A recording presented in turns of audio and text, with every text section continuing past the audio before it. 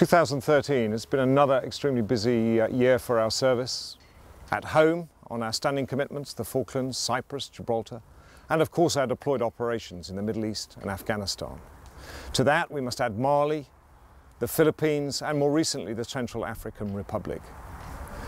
Pivotal to all of that has been your commitment, your professionalism, and your dedication, and for that I thank you. 2014, probably more of the same. Certainly recovery from Afghanistan and the prospect of operations wherever the world may require us to go. I'm acutely aware that as we enter this Christmas period that many of you will be away on operations, dependent upon your families, your loved ones and your friends to understand why you're away.